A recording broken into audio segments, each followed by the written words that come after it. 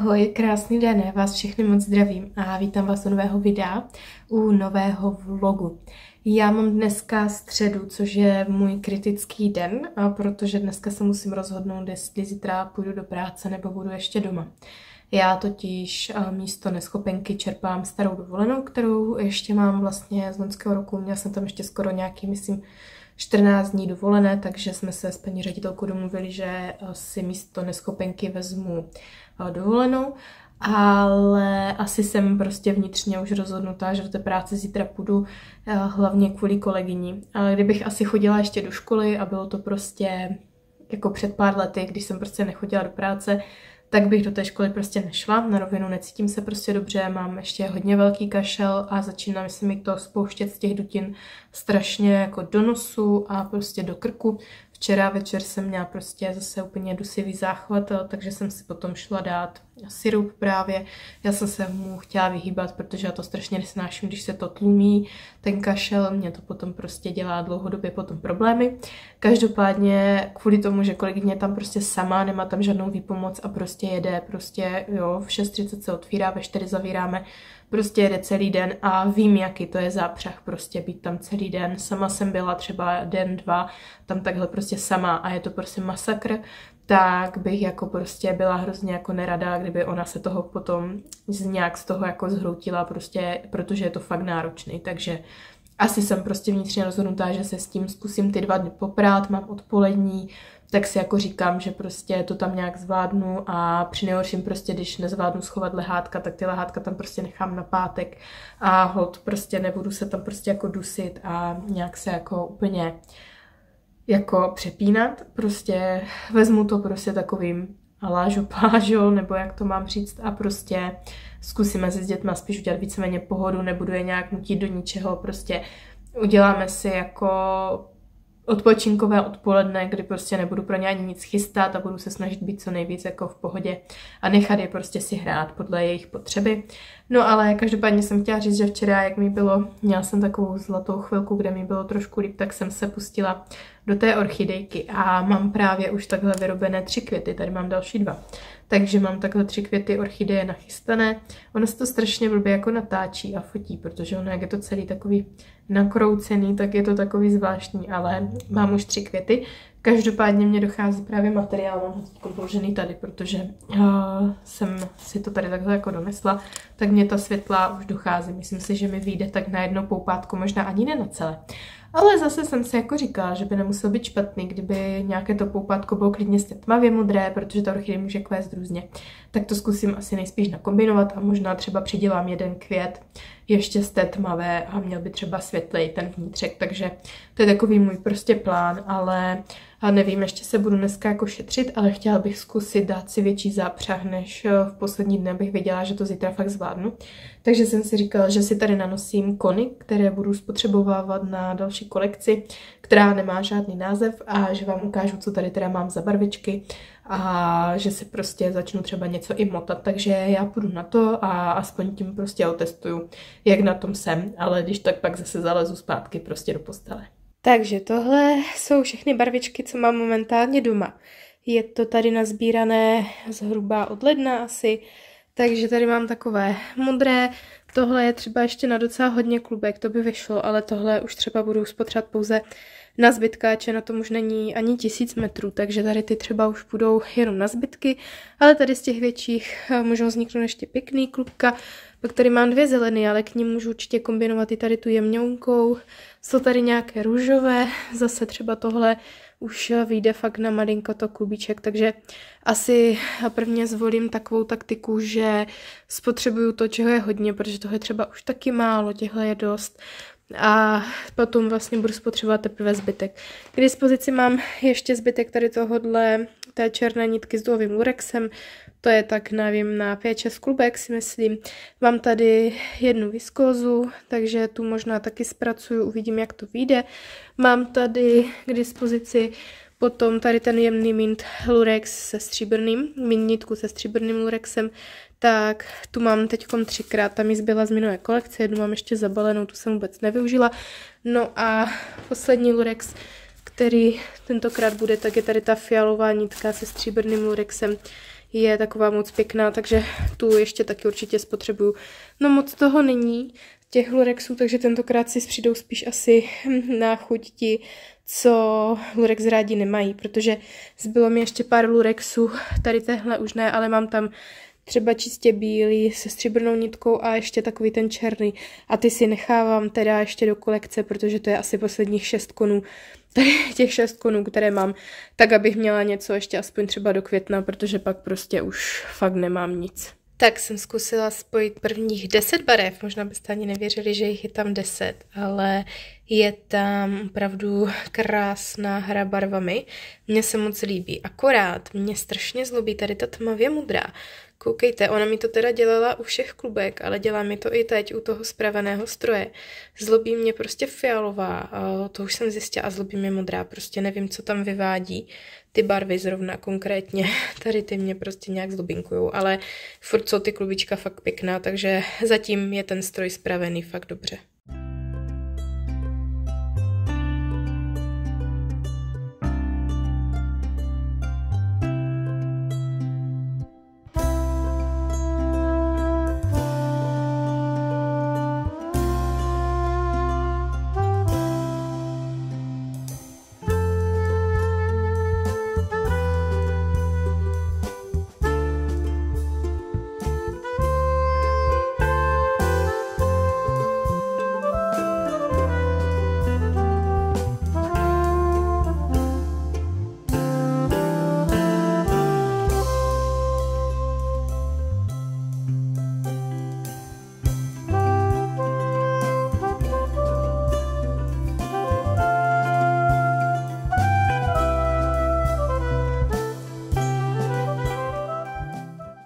Tak schválně jsem se koukala, v kolik hodin jsem začínala s výrobou tohohle klubíčka a bylo prosím pěkně 7.53 a momentálně je 9 hodin a 6 minut, takže 4 klubíčka jsem motala zhruba hodinku 15. Tak jenom tak pro vaši představu. A mám ho teda takhle namotaný. Mně se teda strašně líbí, je moc krásný za mě. A chtěla jsem jenom říct, že vám je takhle budu postupně ukazovat, není to žádná pohádka, nic. Takže můžete klidně psát názvy, tohle je klubičko číslo jedna.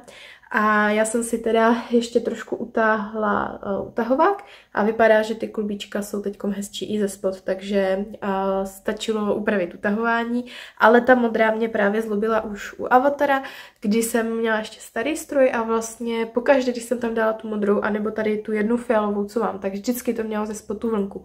A myslím si, že prostě ten kon je možná trošku jinak navinutý než ostatní, protože na pohled vypadá, že má prostě takový ten jiný pattern toho navinutí, tak proto si myslím, že mě to možná i trošku víc lobí. Každopádně tohle klubičko mám hotové, já jsem moc ráda, je moc pěkné a doufám, že se bude líbit i vám. Já mám tady ty repeatky ráda. Repeat znamená, že vlastně to jde do středu a ze středu to jde stejnou kombinací zase ven. Vám je ráda, protože můžete začít odvíjet pěkně od venku.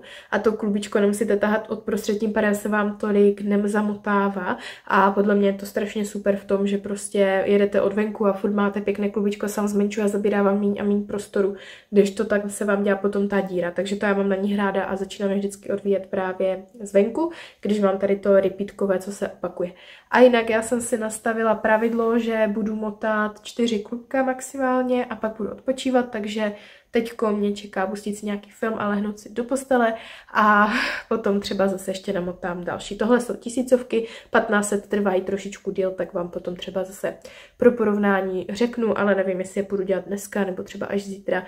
Prostě pojedu takové pomalé tempo a teď si jdu vzít ještě sirup na kašel, protože mě to zase dráždí hodně ke kašli.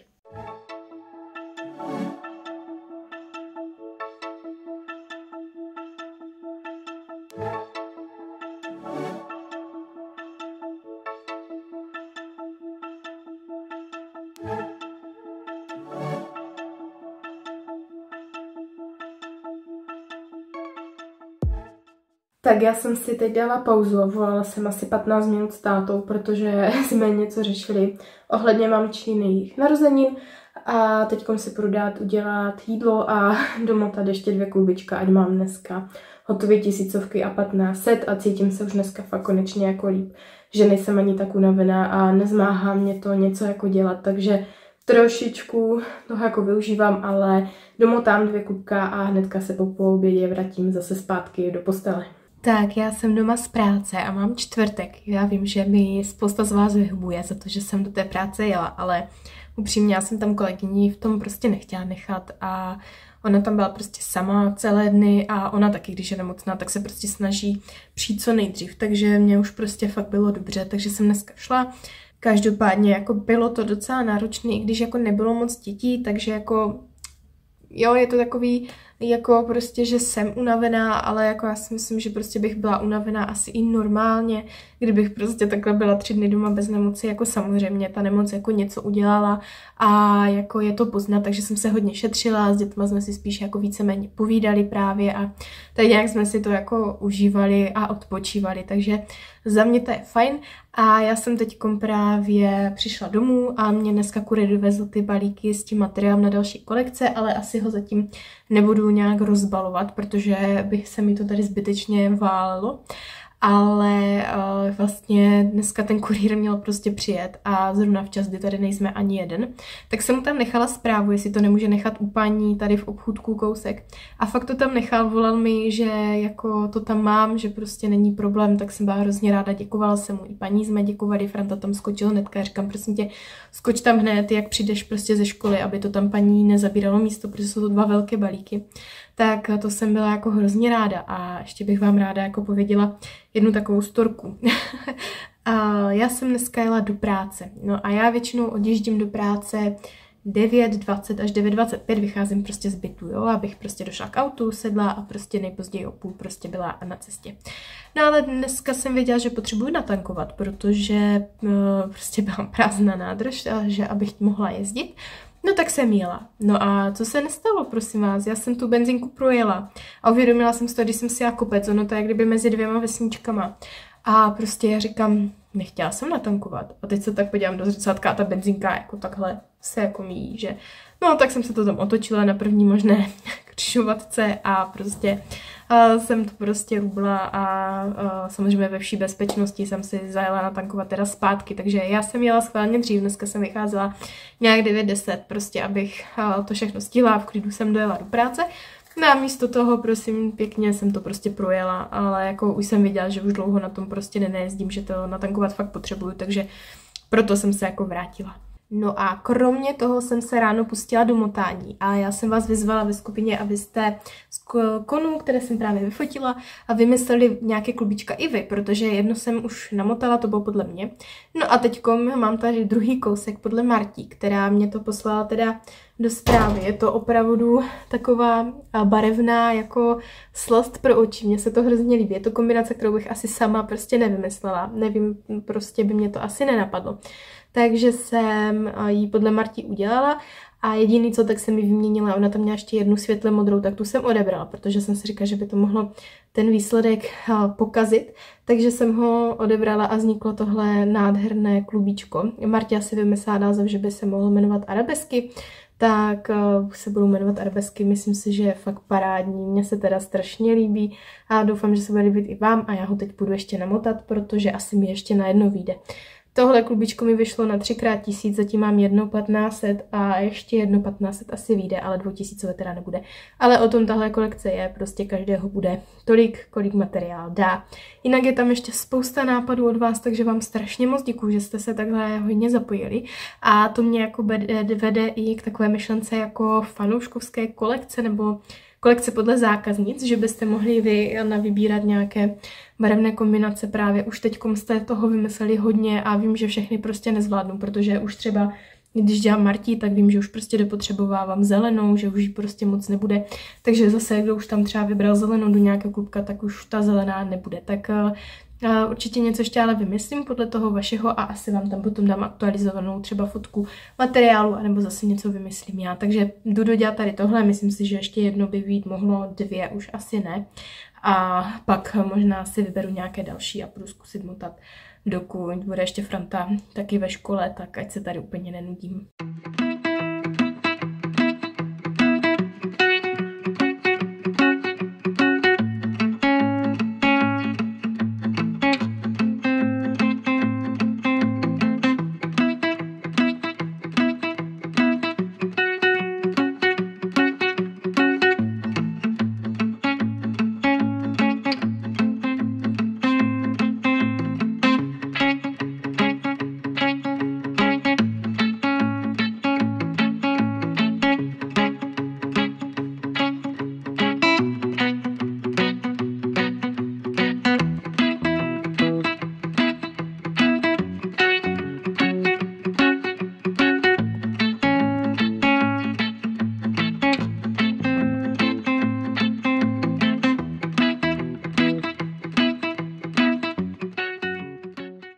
Já už mám dneska pátek a přijela jsem z práce už asi před půl hodinkou a dneska jsem ráno ještě motala jedno klubíčko, které jsem začala už včera, ale říkala jsem si, že ne všechno vám budu hnedka prozrazovat, tak vám můžu ukázat jenom takhle z boku. Nebudu ukazovat, jak vypadá vnitřek, aby bylo aspoň něco překvapení ještě. Takže ukážu jenom takhle z boku, ale máme teda vymyšlený dvě klubíčka. Jedno z nich je teda klubíčko Jaru, to je tady to v růžové mrvičce s tou zelenou a s modrou, tomu budu říkat Jaro. A druhý název pro druhé klubičko budou teda arabesky, ale arabesek mám teda velice malinko.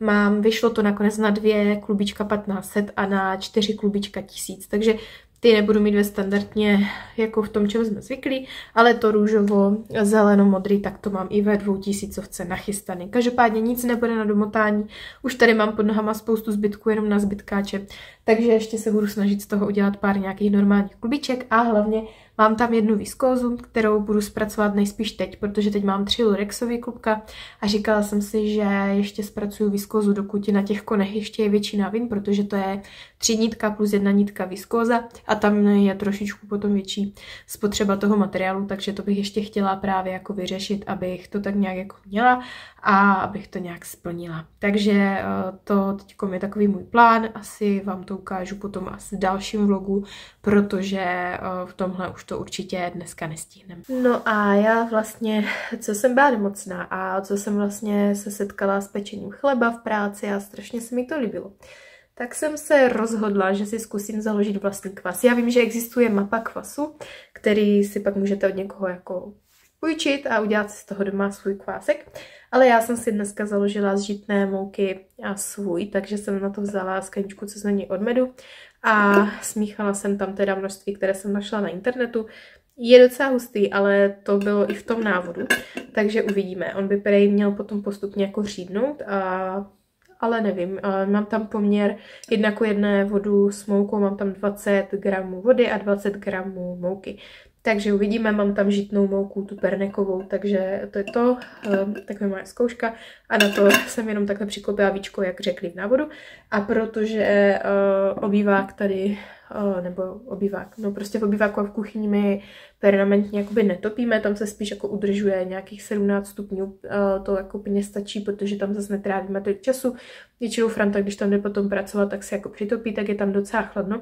Takže jsem ten kvásek dala tady do ložnice, tak bude tady s náma bydlet a uvidíme, jak se mu bude dařit. Ještě nevím, jestli ho nechám úplně tady utopení, nebo jestli ho někam přesunu, protože zase se bojím, aby ho to topení jako nevysušovalo jako ten povrch, tak uvidíme, jak to vymyslím, jestli se vůbec ten kvas podaří, tak uh, určitě se s vámi ale budu o to dělit ve videích. Uh, pokud máte někdo zkušenost s kvaskováním, budu ráda, když se třeba ozvete, nebo když si budeme sdílet nějaké typy a rady, nebo pokud jste se někdo odhodlávali začít, tak já jsem začala, tak pojďte do toho třeba se mnou a pojďte se na to společně mrknout, protože já jsem zvědavá, mě pečení chleba hodně zaujalo, už mě to zajímalo hodně kdysi dávno ale nějak jako předtím a přece jenom bydla jsem u našich, byla jsem menší a tak, tak jsem to nechtěla, ale teď mě to právě zaujalo v tom, že si říkám, že konečně to můžu třeba vyzkoušet a uvidíme. Nechám ho tady takhle jako fungovat.